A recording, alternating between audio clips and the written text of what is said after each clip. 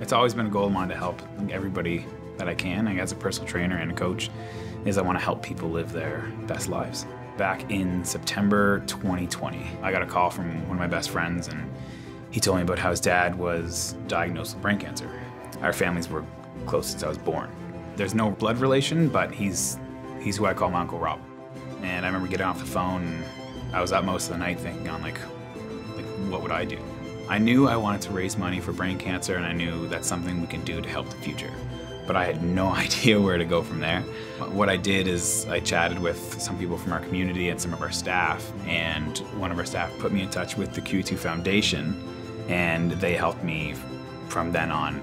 The Bash Against Brain Cancer was an event filled with many other events, from workout events to running events to even just um, some washer toss and cornhole to bring the community together my original hopes was to raise like $5,000.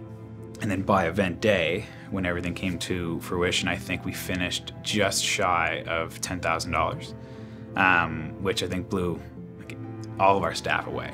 So I'm very excited this year if we can make that even bigger. At the end of that night, I know I had two of our members come up to me, and one of them lost their father, and somebody talked to me about how they lost their brother.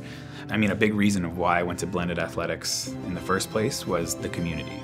It's like one big family. It's really moving how, when you're in times of need and times of care, how the community can come together.